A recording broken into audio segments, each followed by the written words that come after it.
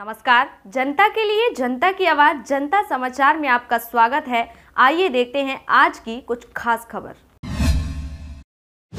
राज्य में होने वाले त्रिस्तरीय पंचायत चुनाव को लेकर, आरक्षण प्रक्रिया को लेकर प्रदेश भर में लगाई गई याचिकाओं पर गुरुवार 9 दिसंबर को एक साथ सुनवाई हुई। चीफ जस्टिस रवि मलिमठ और जस्टिस विजय कुमार शुक्ला की डबल बेंच ने चुनाव पर रोक लगाने से मना कर दिया।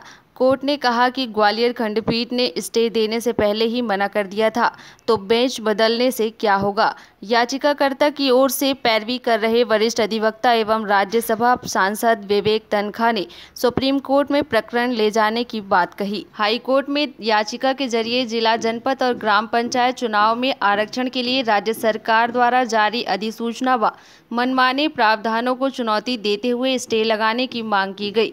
मुख्य न्यायाधीश रवि मलिमत व जस्टिस विजय कुमार शुक्ला की युगल पीठ ने पिछले सोमवार को ही 9 नवंबर को अन्य याचिकाओं के साथ इस मामले की सुनवाई की व्यवस्था दी थी।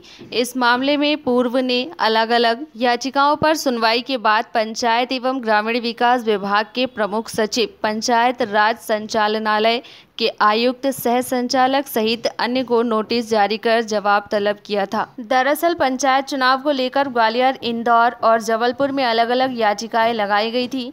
सभी याचिकाओं में आरक्षण की प्रक्रिया को चुनौती दी गई थी।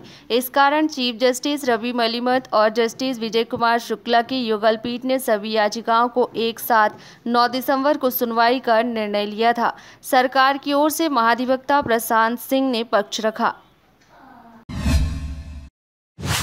आप देख रहे थे अब तक की खास खबर और खास खबरों को देखने के लिए हमारा चैनल ज़रूर सब्सक्राइब करें और बेल आइकन की बटन को दबाना न भूलें। आप देख रहे हैं जनता के लिए जनता की आवाज़, जनता समाचार। अन्य खबरों के लिए हमारा चैनल सब्सक्राइब करें।